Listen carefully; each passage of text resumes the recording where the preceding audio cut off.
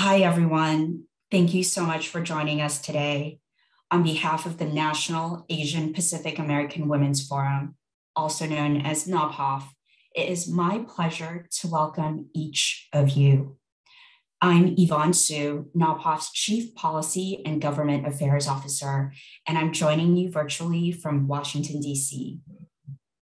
For those of you joining NAPAWF for the first time, the National Asian Pacific American Women's Forum is the only multi issue community organizing and policy advocacy organization for Asian American and Pacific Islander women and girls in the United States. An important pillar of our work at NAPAWF is building a data driven movement by producing cutting edge research that is for us, by us. We know that Asian American, Native Hawaiian, and Pacific Islander communities, let alone AA and NHPI women, are historically underrepresented in research.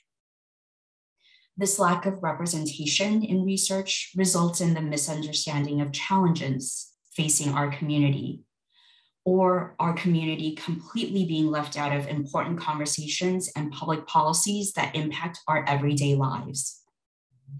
In many ways, our research goals at NAPAWF prioritizes and aims to illustrate a more accurate picture of the lived experiences of AA and NHPI women and girls across the country to that end, today we'll present and discuss findings from our latest report on the current state of safety for Asian American, Native Hawaiian, and Pacific Islander women in the United States. For many of us, this past month has been a heavy reminder of the tragedy of the Atlanta Spa shootings that took place just last year, that took lives, the lives of eight victims, including six Asian American women. And yet, we not only remember this unimaginable tragedy one year ago, but we are reminded of the tragedies of earlier this year and even just last month. Today's briefing is also being recorded and will be shared out to our email listserv for those of you who aren't able, who aren't already on our email listserv please visit www.napawf.org to join. Next, it's my pleasure to introduce NAPAWF's Executive Director, Young Choimorrow, who will talk about our safety report as well as present major findings. After Young's presentation, she will be joined by our special guest, Senator Tammy Duckworth. If you have questions, please feel free to drop them in the Q&A window, not using the chat function. We will, be, we will do our best to answer as many of the questions that we get during our Q&A session with Senator Duckworth. Thank you. Sung Yeon. Thank you, Yvonne. And thank you everybody for being here today um, for our briefing um, of this really important report that we put together. Um, so just before we get started, just wanted to, you know, give some context that, you know, as we thought about um, moving, coming into March this year and it being the first, um, you know, remembrance of the Atlanta Spa shooting, um, we we decided then last year that, you know, while there'll be a lot of conversations and people wanting to talk about the remembrance, we thought it was as important to continue the conversation about the state of safety for Asian American women now. Um, and so we conducted the survey. The findings are, um, there, there's some findings, some of this finding that I find, it's like even news to folks like us who do this work, you know, day in and day out. There's a lot that we still need to do together as a community and as allies and advocates. So um, I'm really excited to share our data with you and spend some time with you all in conversation today. So to start off, um, our, um, yeah, so we, we did this polling and we're, you know, the report is called the state of safety for Asian American, Native Hawaiian, Pacific Islander women in the US. Um, can you go to the next slide, please? Um, and I just wanna say that this is a, um, an effort, a joint effort uh, supported by the Asian American Foundation and the Korean American Community Foundation. So we want to thank them for being a part of uh, making this report possible. So just give you a little background, um, I, you know, I give a little background about like the impetus for the report itself, but just a little background about safety issues for AA and HPI women. Um, it's not a new issue in the pandemic. You know, I think one of the things that uh, people are most surprised by is when I'm being asked about like COVID related violence or, you know, the surge of violence against Asian Americans since COVID, that I tell them stories of violence um, that Asian Americans and especially Asian American women um, have experienced long before COVID came around and sort of the, the beginnings of how we came to where we are. Like, what are the stereotypes? What are the attitudes and behaviors towards Asian American women, especially um, AA and HPI women that have led to the data that we found today, right? So some of that is, you know, historical context, like this, this is a picture of uh, the first ever Chinese um, immigrant woman to be um, recorded in the United States. Her name is Afong Moy, and she was brought over in um, uh, in the 1700s by a Chinese uh, by a New York businessman who wanted to make money off of her. Right, so she was put on display, and people could come pay him money and watch her, look at her hair, her skin, her small feet, the way she uses her chopsticks, the way she talks Chinese. And it was a form of entertainment.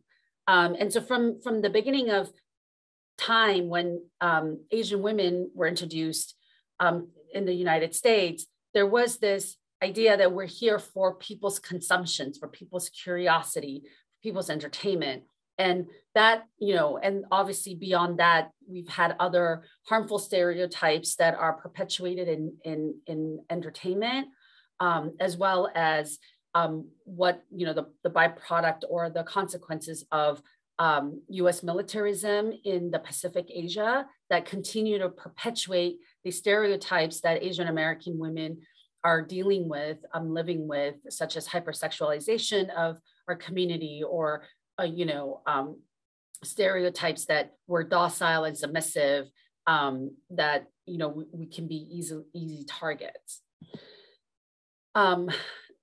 So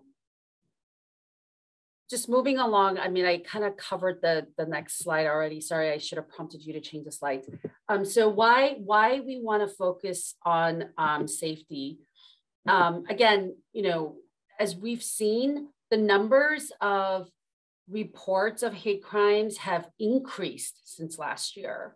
Um, in according to Stop API Hate, they've received an increase of 339% of reports um, in the last year. San Francisco, City of San Francisco, put out data in February that they've seen an increase of over 500% in reporting um, of hate incidences in the city of San Francisco.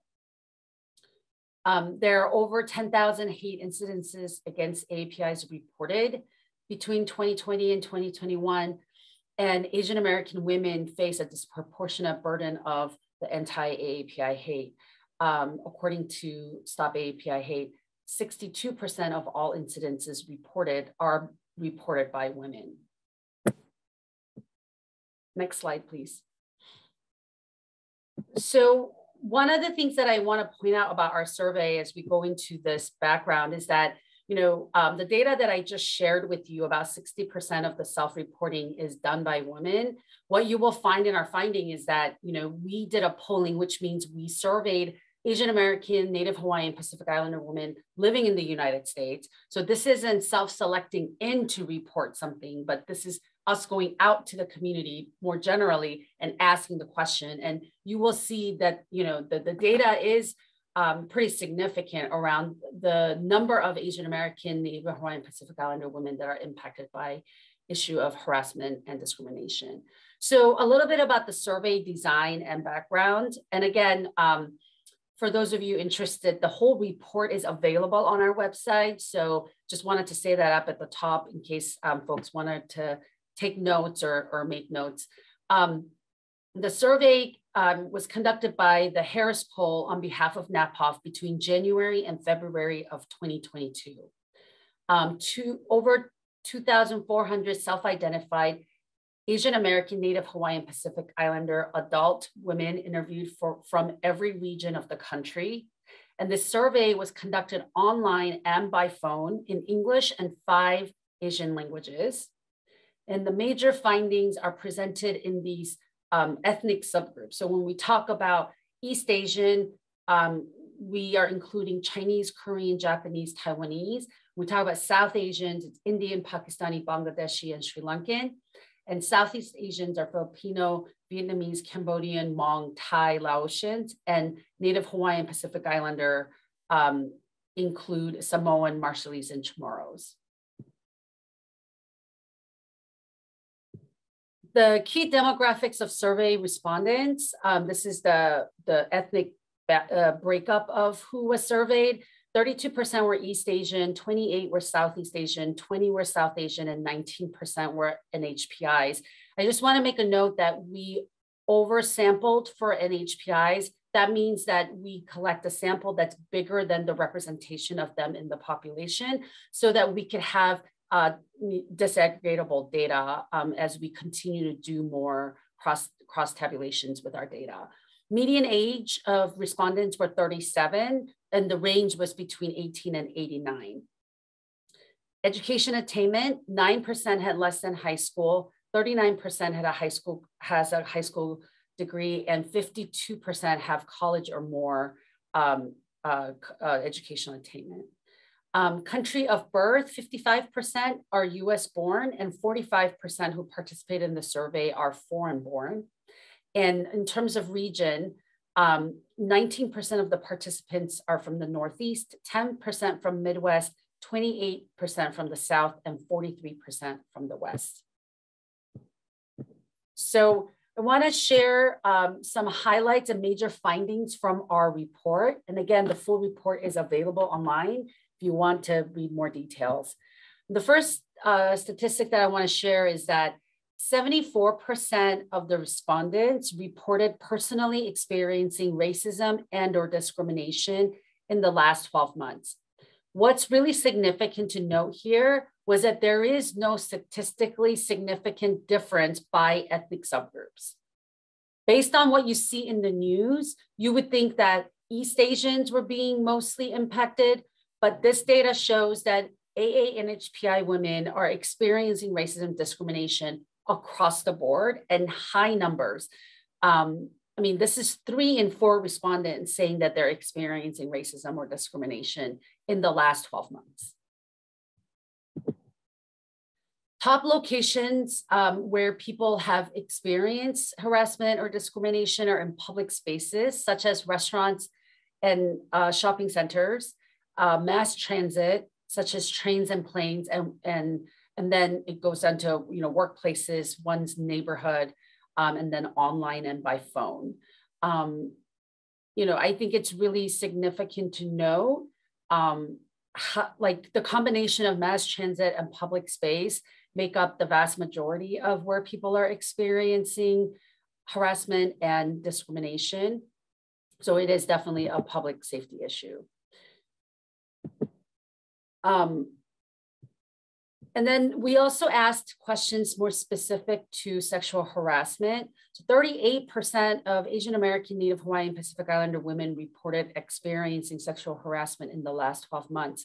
And here the data, there is a bit of um, uh, difference um, by subgroups. And so we thought it was important to lay that out. So NHPI community, um, women in the NHPI community experience the highest level. So 52%, so the of the of the 32, sorry, so 52% of the respondents um, who answered that they had experienced sexual harassment um, were from the NHPI community, and then 40 from South Asian, and then 37 from Southeast Asian, and then 35 from East Asian community.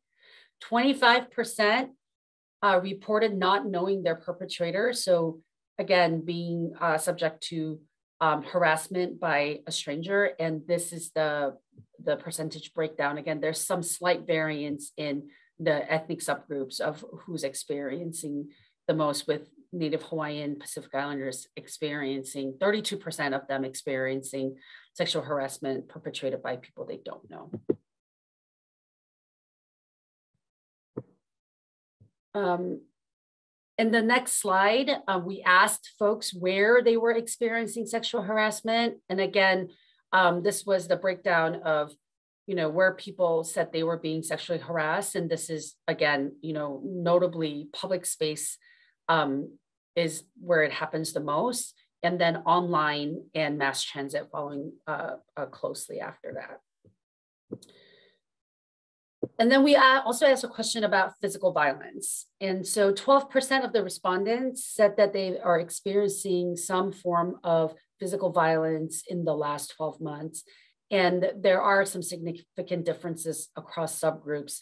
And so here's the breakdown um, of the subgroups who responded um, saying that they experienced physical violence.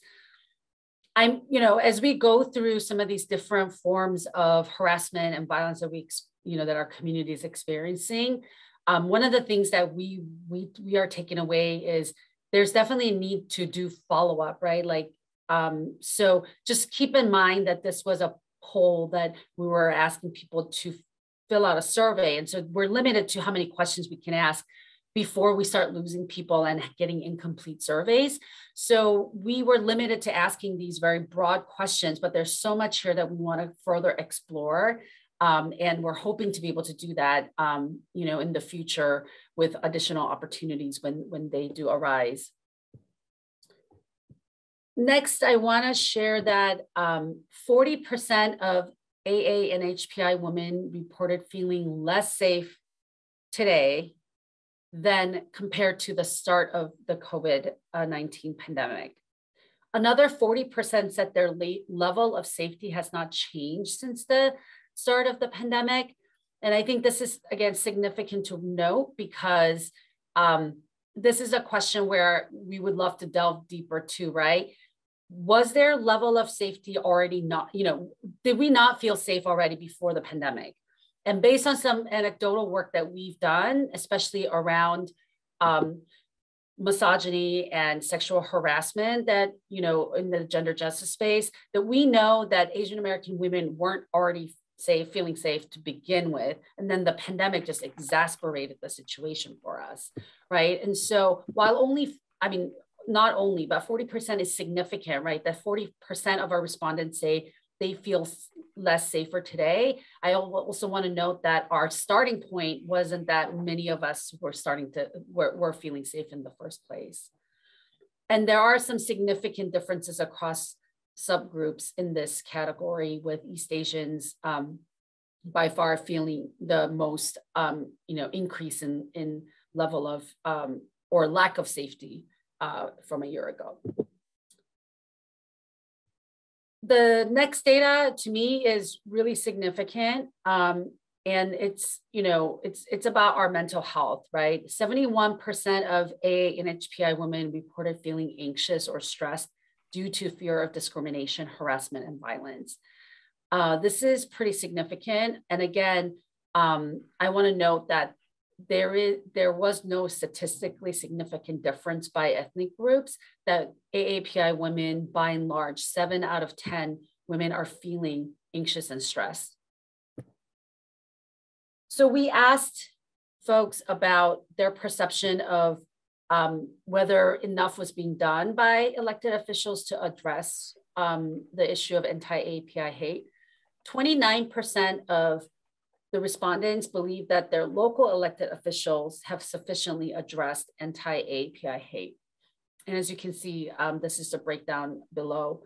I think what's really interesting to note is, you know, the number of people who say, I don't know, right? Again, I think that there's room for exploration. Is it that they don't like, you know, I'm very curious to know what it is that they don't know. Is it that they don't know if it's been sufficiently addressed or is it that they don't know if it, their elected officials have done it a good job like there's a lot to explore there about wh- whether it's a gap in information or whether it's you know they really just have no sense of whether it's it's it's enough or not um, with biden administration there was a 7% increase in people feeling that the Biden administration sufficiently addressed anti-AAPI hate. And again, you can see the breakdown across um, the subgroups, and there is a bit of variance.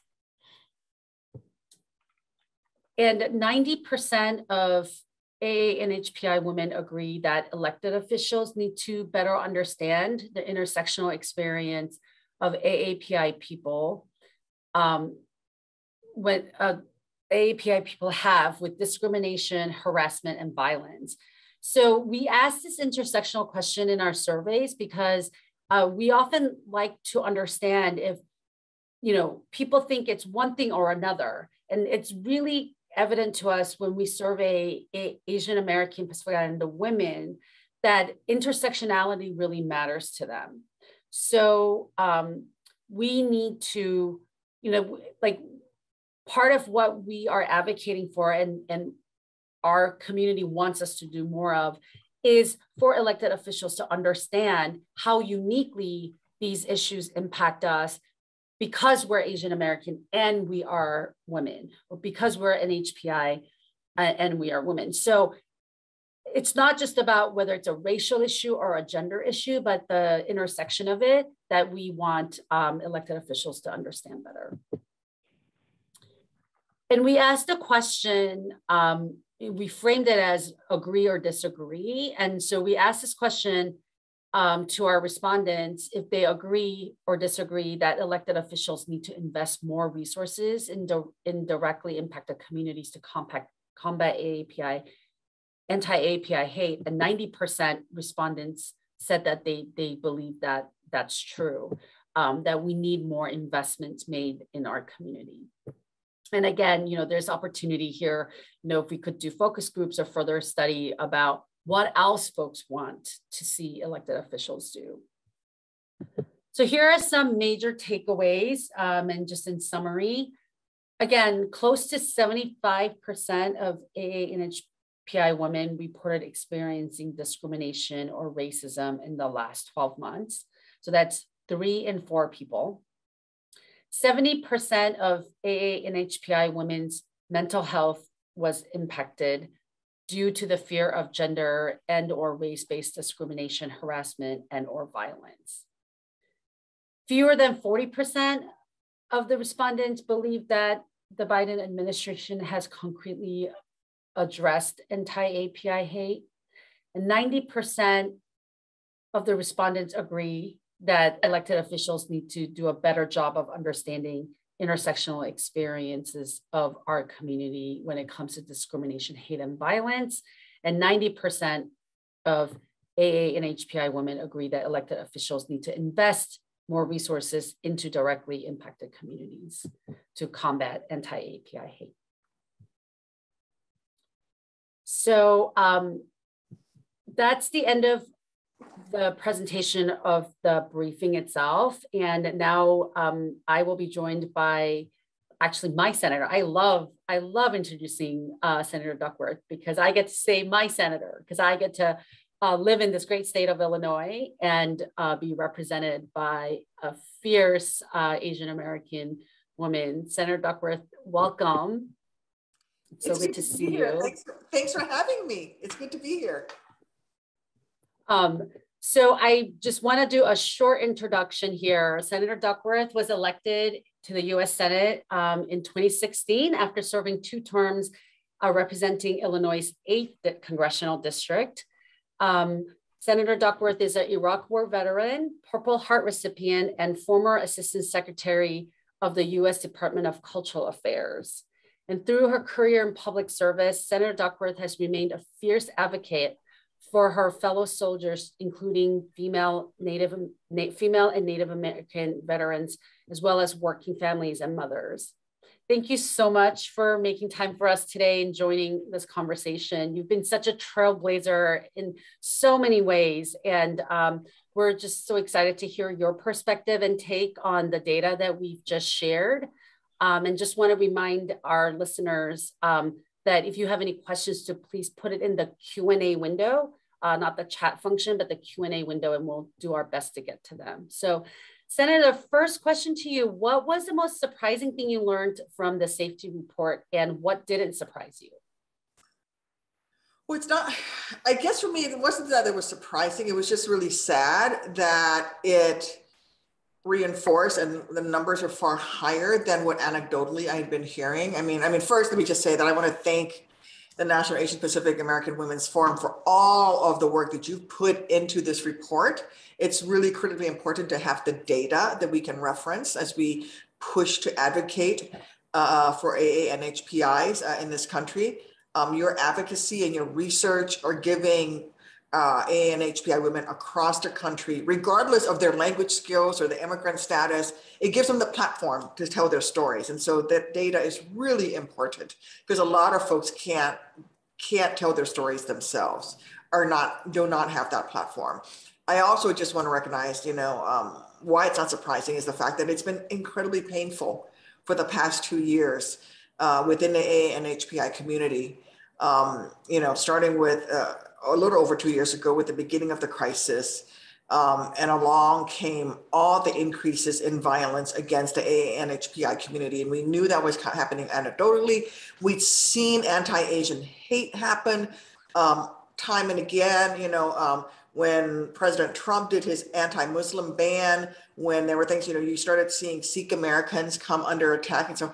But as the pandemic went along, as Trump officials started using terms like Wuhan virus and really stoking hate, the interesting thing, um, sadly, that came out of it was how targeted AA and HPI women were, especially elderly AA and HPI women.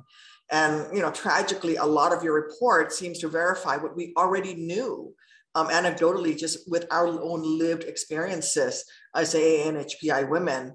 Um, I'm really impressed by the resiliency and the strength of our community. Um, I'm going to keep pushing for protections and empowerment for the community. Um, and I'm really eager to keep working with you on this issue. But unfortunately, I wasn't that surprised.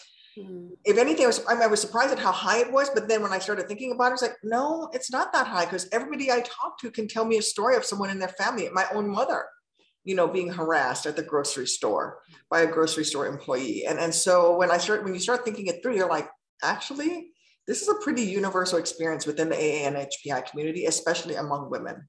Yeah. Yeah. I think when you see the number, like the statistic, it's like shocking, but then you're right. Like everybody, we like, I don't know an Asian American woman who hasn't had some sort of experience or their mother hasn't had some sort of experience to your point. Um, so yeah, that's a good way to sum it up that it was, it was shocking because the data, but not shocking because we all knew the stories. Right. It's shocking um, to see it in black and white, but then you're like, yeah, that's right. right. But it's still right. a face. Yep. Yeah. Yeah. And so I think one of the things that strikes me is, you know, the self-reporting says only 67% of Asian of the reporting is made by women, but our our survey shows that 74% of women are experiencing this, right? So it's even more than you know what the self-reporting is saying which is i mean it, it is it is just all over the place. Um, so how do you think senator um, does gender bias and discrimination play a role against um, aa and hpi women? Oh definitely. It, it, it shows up in all sorts of places. Uh, uh we know that um, uh, women of color uh, uh, are not believed when we go to the doctor. We're not listened to. Um, my mother, I remember she, my mother is allergic to penicillin and she had an operation and she tried to tell the doctor, you know, she was allergic to penicillin. Her English is not that great. Um, and they didn't listen to her and they gave her penicillin. She went into shock, almost died. You know, that unfortunately, tragically is, is a common experience because um, uh, uh, ANHPI women are not as listened to. We're not given as much um, we don't occupy a position of high influence within American society.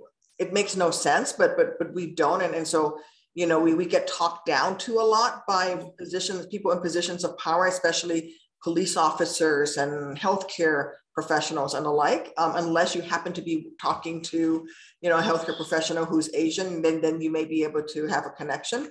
Um, but uh, I think the gender really does play a role against Asian women. And then within our own communities itself, um, Asian women, you know, have been in traditional society have been taught to make things better, smooth things over, deal with the problem, solve the problem. And so we are less likely to be the ones. That's why to report a lot of these crimes against us. We would rather, let's just, you know, yeah, somebody harassed me at the grocery store, but I'm just going to go ahead and finish what I'm doing, put up with it so I can get the ingredients to make my family dinner.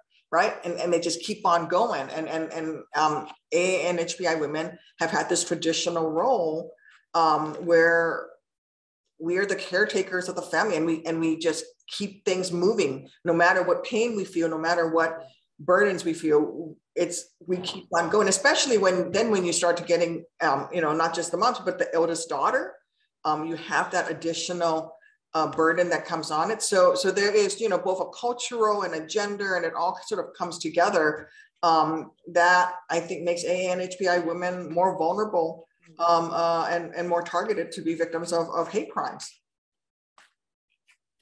That, those are all so true. And yeah, I, I, I personally deeply feel what you're saying. Um, and so just a little bit more of a personal question. How has stereotypes about Asian American women shaped your experience in elected office? Um, you know, I think for me, it was less in elected office as it was my life before because I mm. came into elected. I think that my my path into elected office is different than a lot of um, uh, AA and HPI women's path into elected office. So I come here as a military veteran, right? And I come here as an advocate for um, for veterans and the military community. So you don't get much more macho than that community. And so I have this other identity that helps to buttress me Mm. I think it, it certainly helped me win statewide elected office in Illinois. If I had just been uh, an ANHPI woman who had not served in the military, I don't think I could have won mm. elections in Illinois as the first federally elected Asian woman, uh, woman in Illinois, right? And, and so that military status gave me mm. a, a status that I could rely on so that people would listen to me. And then when they listen to me, they're like, oh, wow, yeah, she knows what her, she's talking about. She understands me, right? But if you are an AA and HPI woman and you don't have that military or police background, you know, it makes it that much harder. And then there's this whole stereotype of more subservient, more quiet, not willing to, you know, so that when we do speak up, it's seen as being against type. And we're seen almost um, a shrill. I mean, in fact, I actually had the, I was called shrill in my first campaign um, uh, by my opponent. You know, they use all the dog whistles and, mm. um, you know, they tried to otherize me even as a military veteran. Um, and, and I had to fight back, but I had some basis on which to fight back on, which I think a lot of other AA and HPI women, when they run for political office or when they get into political office, have a hard time, have a harder time asserting themselves because just by asserting yourself, you're seen as going against type.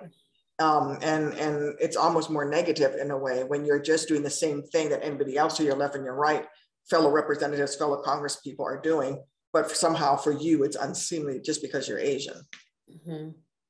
That's so interesting. I mean, in some ways, it's like your ability to have this other stereotype helped kind of level out this negative stereotype that would have not let you be where you are right so it's sort of it, it's like this double enforcement right like you needed this other thing to help negate your the stereotype people would normally have about Asian Asian American women, um, and that you were respected because of this other, you know, career experience that you had, um, and because otherwise, void of that, you would have had to face all of the stereotypes that, and may, and maybe you do. I mean, just in the small, you know, few bits you've just shared here, even that there is that, right? That when you speak up or when other women of color, you know, members of Congress, I mean, they've been called all sorts of things, right? Like, but when men do it, it's, yeah, they're just doing their jobs, right?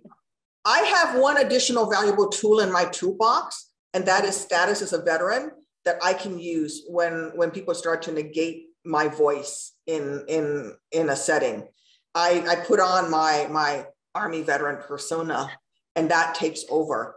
Um, and so, you know, I have that in my toolbox, and I think a lot of, um, you know, uh, ANHPI women when they get elected to office don't have that persona um, mm-hmm. to rely on, and so you you know I, what i urge is you know develop your own mechanism for asserting yourself. And that was something that speaker pelosi really pushed very hard uh, when i was in the house to really um, uh, force the status quo to change so that the female reps were listened to because a lot of times we would be mm. and, and so she you know when i was a freshman in the house she um, selected me to be her representative to my freshman class, which is a very prestigious thing. But so I got to go to the leadership meetings. I'd be in these leadership meetings with these, you know, very senior congressmen and congresswomen. And we, she would ask a question, we would go around the, the table answering what we thought on a particular issue. Um, and you would get, always get a woman who would say something. And then the question, you know, people go, oh, nod their heads and keep going on. And then a man, three, three people down, would say the same thing the woman said and everybody's like, "Oh yeah, that is really good." I mean, we were, you know, and and Speaker Pelosi was very good about stopping the conversation right then and there. And like, "That's great, Michael." But Sally said that first, and let's go back to what Sally had to say. So she really enforced that. Um, but you could even see it among Democratic Congress people that we were playing out these old mm. dynamics that exist in our society at large. And even though we were very, you know, we should be more aware, it was happening even with leadership.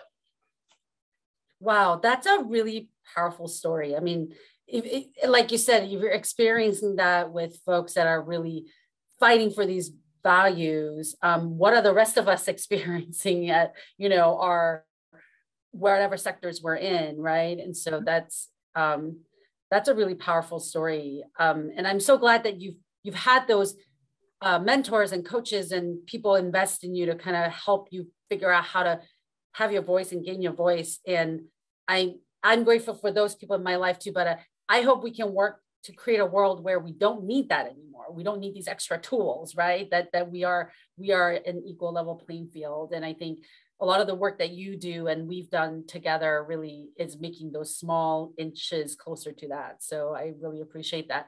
Um, and just back to um, you, you spoke about this a little bit when you talked about your mom, but just wanting to hear um, just a little bit more about if you've had any personal, if your pers personal perception of safety has changed during the course of the pandemic and what that's been like? Well, it is very much tied to my mother. Um, uh, really, I'm very, my mother's 80 plus years old, still very independent drive. She moved in with us during the pandemic. Um, she's helping take care of my two daughters who are four and seven you know, she's yai yai to them. The Thai word for mother's mother is kunyai yai. So we call her yai yai. Um, and it's also funny because it's a close alliteration of the Thai word for big, which is yai. So, you know, she's the, she's the big person in our family there. Um, so it's a little bit of a, a, a, a funny joke. Um, but, but she still goes to the grocery store, you know, and, and, and, and she, this one time she went and, um, she does a lot of coping mechanisms. Like if she's talking to me on the phone, at the grocery store, if I'm with her, she'll talk to me, speak with me in English. Like she'll oh. speak to English instead of speaking in Thai to me, which is what we normally speak. Um, you know, she will, um, so a lot of, you know, coping mechanisms like that so that she isn't targeted. Um, and she doesn't even do it thinking about it. It's just instinctively, she just knows it's safer for me if I speak in English here. Um, and um, so we, so she was at the grocery store We're trying to buy some grapes at the beginning part of the of the virus um, when you know there was still the Wuhan stuff and people were blaming Asians and it's if you guys would stop eating bats you know you wouldn't pass this virus on the world and all of that crazy stuff um, and uh, one of the grocery store workers just kept shoving her out of the way she was trying to pick out the best grapes you know because Asian moms right you can't, pick the first bunch of grapes you got to go through all the grapes to find the you know the one bag of grapes that's the perfect bag for her granddaughter um, and and kept pushing her away. So she moved over, and she, you know, and finally the woman is like, just, you know, just go away. I, I have to wear this mask because of you, you know. And the, the, the grocery store worker was wearing a mask, and my mother was just like, looked at it and said, "Listen, I'm not here to start a fight with you. I'm just here to buy grapes for my daughter." Mm-hmm.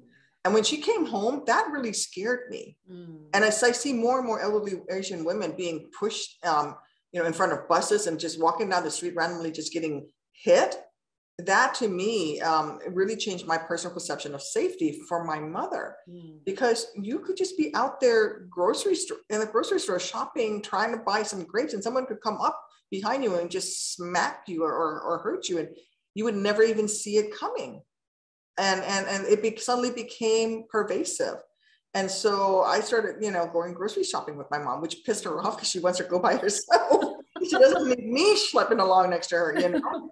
um, so it, it changed the dynamic of how we did things in the family, and and for me, it was really scary.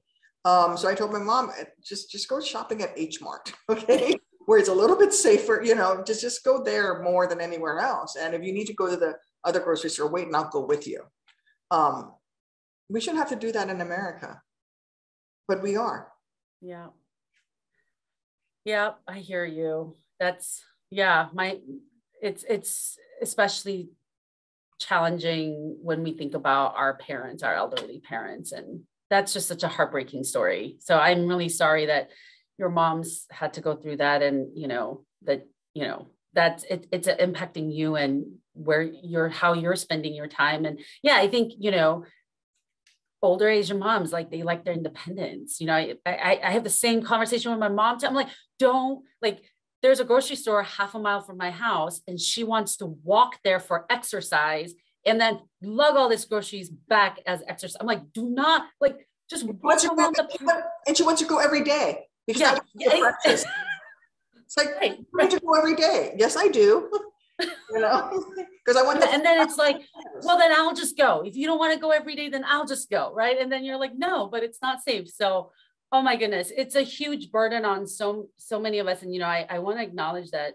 especially as Asian American women who are also caring for our elderly, that's, it, you know, it, it is a added burden, right. Of the, mm-hmm. the, the mental stress of worrying about our safety, worrying about our parents. Um, and so I just want to appreciate that as well. Um, before we get to the last question to you, Senator, I just want to remind um, the folks who are participating in this webinar, if you have any questions to put it in the chat. Um, so for our last question to you, Senator, what do you think is the role or what is the role of elected officials to addressing anti-Asian violence that we're seeing that's only increasing, unfortunately? Well, I think there's several several things that need to happen. Um, one, we have to shine a light on it, right? We have to call it out for what it is and shine a light on it, and and and focus the attention of the nation uh, on it, and, uh, and to recognize and say, hey, this is happening. Because if we didn't do that, people wouldn't know that was happening. And then we have to follow that up by forcing law enforcement to acknowledge that it's happening and forcing law enforcement to go back and look at how they're classifying anti-Asian violence. Because what was happening was law enforcement was just classifying a lot of this violence as just theft or robbery. Somebody was just mugged, but they weren't classifying it as anti-Asian violence because the person didn't say a racist term when they were conducting the, the mugging. However, if you are choosing your victim based on their race, that's a racist, that's a crime, mm-hmm. that's racist, right? So we are forcing law enforcement to go back and look. And so one of the things we did was to make sure that the Justice Department is going back and re-looking at crimes that were committed against Asian Americans and, and re-looking and, and to see if there's a race factor in them. So we get better data and, and, and to also train law enforcement officers across the country to better ask questions and identify a, a, a crime that is based on racism against Asian Americans in particular, because they were not classifying them as such. Um, they were classifying them as hit and run, harassment, you know, elderly abuse. But but when when it's only an Asian woman that's being targeted, then then that has to be classified as anti-Asian violence. So that's one thing. That's sort of like the official executive branch thing that we can do. Um, we also need to work um, through the legislative branch in two ways. One is through funding, you know, to, to appropriate money to fund both executive branch uh, to train law enforcement, but also to provide funding to local communities so that they can implement solutions within their communities to help, um, uh, you know, fight this violence. The other is to pull together other um, uh, uh, uh groups of people that have common experiences to this, but in a different way. So really working for us here, it was CAPAC, the Congressional Asian and Pacific American, you know, members of Congress uh, uh, uh, um, caucus, working with the Black Caucus and the Latin, uh, the Hispanic Caucus together, the Tri Caucus coming together to mm-hmm. say we stand against anti-Asian hate and bringing those communities together to work together to solve this problem. Um, and so that it's not just an Asian issue that only Asian Congress people and the senators care about. This is an issue that all Americans should care about, mm-hmm. um, especially those in the Black caucus and the Latinx caucus and the LGBTQ caucus. So that's another thing that we that that is our role as well.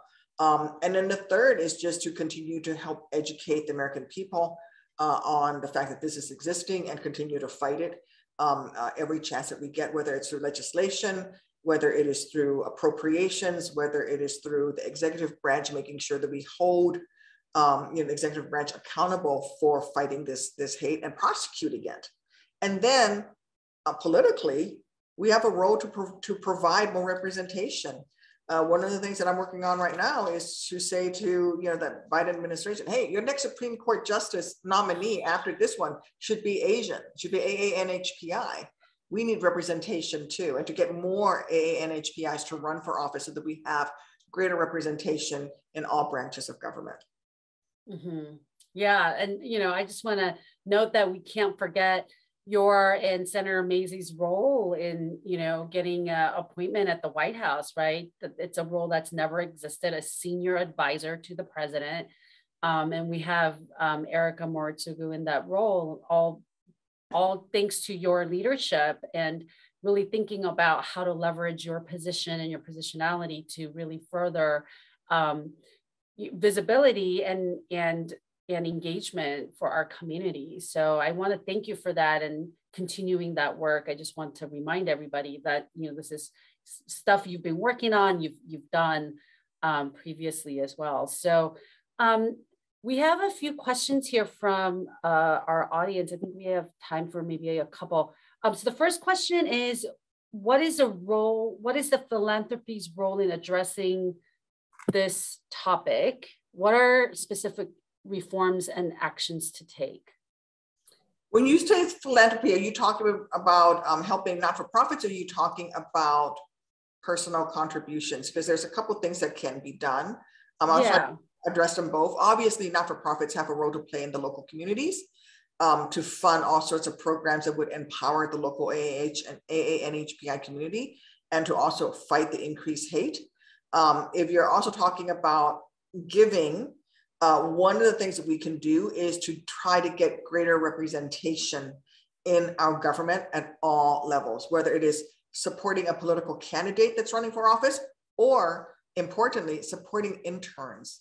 One of the things, one of the paths to power in Washington, D.C., that has been the path to power in Washington, D.C. for over 200 years, has been this idea that um, the old boys network, right? The, the, the connection. So many of the my white male senator colleagues were pages and mm-hmm. interns here 20, 30, 40 years ago um, because their fathers were either themselves senators or were friends with a senator or were business partners with a senator who then got them the internship. Mm-hmm. And, and, and those internships lead to jobs and, and you know that, that that stair step gets you into the pipeline into leadership so that you come back later and you run and you become a senator so there's lots of male senators right now who were pages at one point i don't know of any female senators who were a page but there's a lot of men who were um, so one of the things that i've been doing speaking with various aa and hpi communities is like um, uh, uh, uh, like the korean american community is a good one i said listen i only have a, so, a finite budget um, so i can only have so many interns in my office that i can pay for but if you mm-hmm. want to fund an intern where they can come to Washington, D.C. and work in my office for three months and they can stay with a Korean American family who acts as chaperones and you pay them a small stipend so that they can, you know, eat and, and be here for three months, raise the raise the money. It might cost, mm-hmm. you know, it might cost you a thousand dollars a month to have somebody here and they can stay with a, a, local family and then they can come and work in my office and then they are now a congressional fellow or a congressional intern that goes on their resume they make the connections and they are now on that path they're in the pipeline that someday hopefully they become like a ben roadside my korean american um, you know uh, uh, legislative director that's mm-hmm. one of the mm-hmm. top jobs you can have in washington on the mm-hmm. legislative director for a senator um, we got to put people into that pipeline so that philanthropy part of it is help those communities that are helping in the local communities, but don't forget that again, I'm going to quote Speaker Pelosi if you don't have a seat at the table, you are on the menu. We got to get people in the pipeline so that they have seats at the yeah. table. And you can do it one of two ways either running for office or the professional staff. And, and, and it's not just politically, but also in those C suites. Mm-hmm. You know, we don't, Fortune 500 companies have very few Asian Americans in those top offices. We, we are overrepresented in the professional ranks. We are overrepresented as, as the accountants and the senior vice presidents, but we never get to be on the board or the president or the CEOs or the COOs or the CFOs. We're always at that corporate vice president level. Mm-hmm. And so we got to get people into the pipeline. Mm-hmm. Um, and that's where we can help one another and, and, and get that going. It's why Mazie and I push so hard to get more political appointees at the cabinet level position. We have lots of Asian Americans who are deputy directors and mm-hmm. undersecretaries, you know, but they never get selected. They just get selected for the jobs where they have to do the hard work, but they don't get to be the face. And yeah. we have to get them into those positions.